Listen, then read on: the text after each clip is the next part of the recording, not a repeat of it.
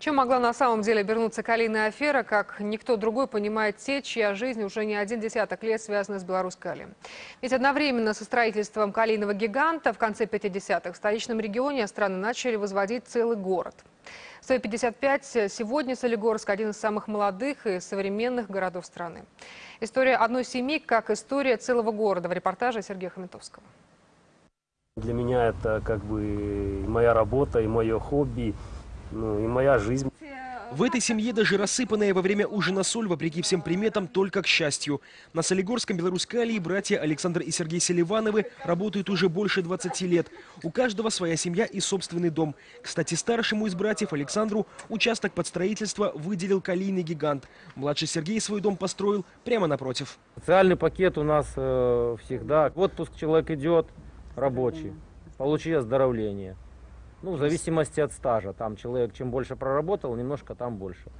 Вот. Плюс, Плюс э, санаторий. санаторий у нас есть свой э, Белоруськалевский, Березка называется. Оздоровление, пожалуйста, лагерь можно брать путевку. Дубрава. Когда-то на Беларуськалии трудился и отец братьев Селивановых, отдал предприятию почти четверть века. Именно он, говорят сегодня горняки, рассказывал им, какими непростыми были для Беларуськалия 80-е 20 века, с забастовками и невыплатой зарплат. И как в середине 90-х произошло возрождение предприятия. В отличие от многих других гигантов на постсоветском пространстве, Беларуськалий не дал разворовать и приватизировать президент.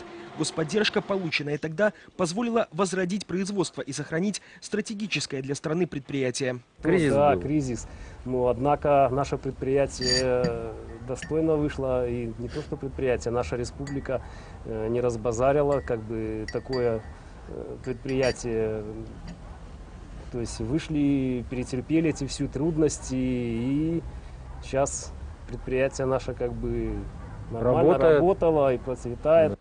Сегодня ту историю, признаются шахтеры, в семейном кругу они вспоминают часто. И поводом тому стало предотвращение белорусскими правоохранителями грандиозной калийной аферы уже в 21 веке. Что было бы с ними и с тысячами других семей горняков, если бы попытка рейдерского захвата стратегического предприятия удалась? Они даже и думать не хотят. Повезло просто нам, что наше как бы руководство вот это вовремя обнаружили, и они не дали этому распространиться. Поэтому у нас все осталось, как бы мы будем работать. Об этом говорят практически все жители Солигорска, ведь они, как никто другой, понимают, Беларусь-Калий не просто предприятие, а предприятие, которое дало жизнь их родному городу. Хотели отобрать предприятие, да и все, у страны. И все, кто-то хотел заработать деньги на, на нашем предприятии, на белорусском. Калийные руды – это запасы общенациональные. И это резерв стратегический нашего государства. И каждого человека, каждого белоруса. Потому, потому такая негативная реакция у всех жителей Солигорска и, наверное, и у всех жителей Республики Беларусь. Всего за 55 лет Солигорск превратился в город с населением свыше 100 тысяч человек. На Беларусь-Калии работает каждый шестой житель района. Предприятие формирует львиную долю бюджета города. И появление первой в Минской области ледовой арены, современного спортивно-зрелищного комплекса, новых школ, поликлиник, равно как и расцвет города, заслуга Беларусь-Калия.